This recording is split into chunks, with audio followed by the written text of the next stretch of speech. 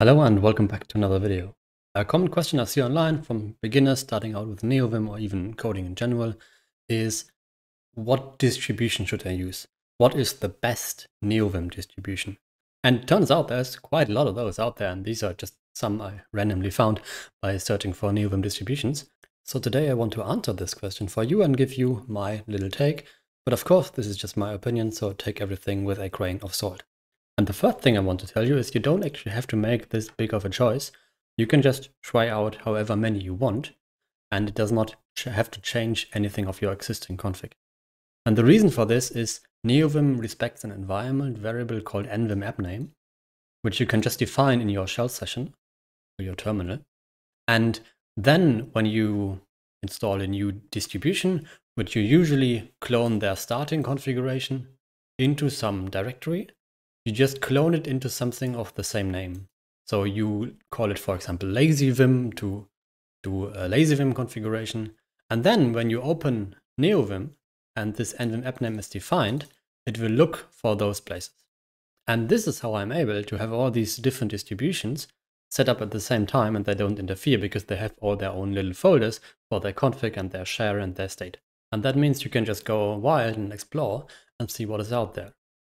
But what you do with this, I have sort of a different opinion. I don't think you should actually stick to any of those single distributions.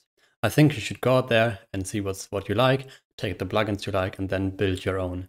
And I'm going to explain why I think so. Uh, firstly, I want to discuss an interesting trend I see with those distributions. They all started out having a lot of custom code to manage your plugins and to manage your configuration and that kind of stuff. And then uh, Folke's lazy.nvim plugin manager came along and basically everybody started adopting it because it is just so well built and it is a project that is so mature now that it makes more sense to contribute to it yourself if you want to improve it instead of building your own plugin manager. And it is a very important piece of managing your configuration to keep all those plugins nicely organized. And because of this, it is actually fairly easy to take pieces from each individual configuration or distribution that you like and incorporate it into your own. You don't need to always take the whole thing. However, distributions do a bit more, right? They also provide some default configurations for certain plugins. And I want to talk a little bit about a general topic with regards to that. And that is abstractions. Now, as programmers, we abstract things all the time. You write a function for something you do a lot or you want something to do something complicated and then you wrap it in a function and then you don't need to worry about the complicated parts again.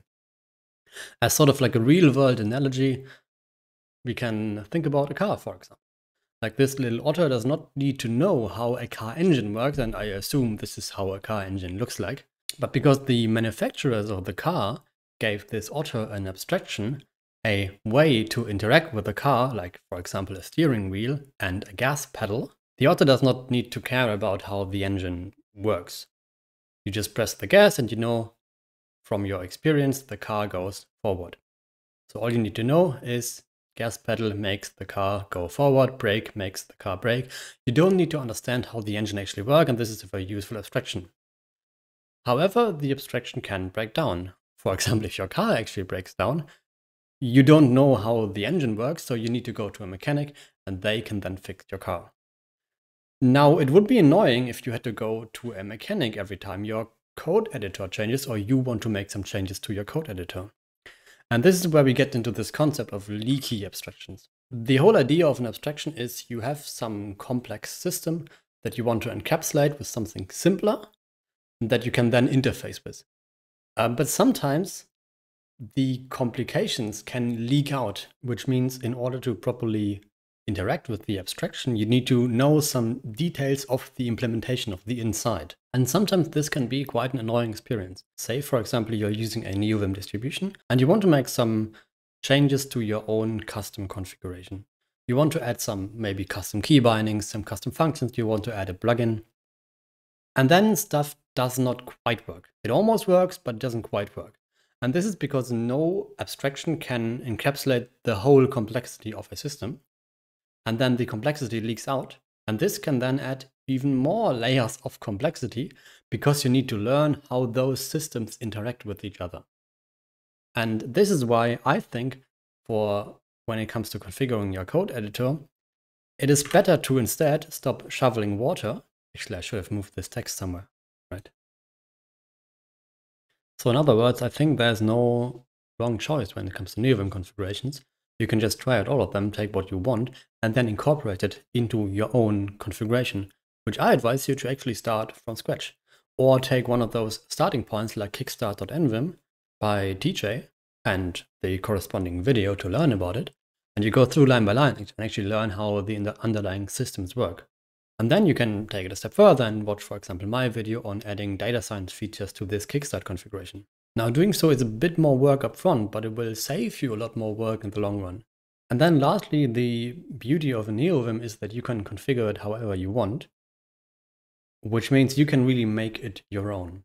And actually the, the mug I'm currently drinking from is from my local climbing gym, which has a saying on it in German, which says äh, Zuhause ist doch am schönsten, which you could roughly translate to, and after all, home is nicest.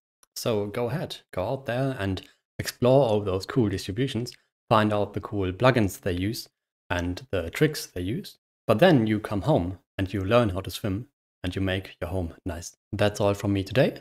I thank you for watching and I'll see you in the next one.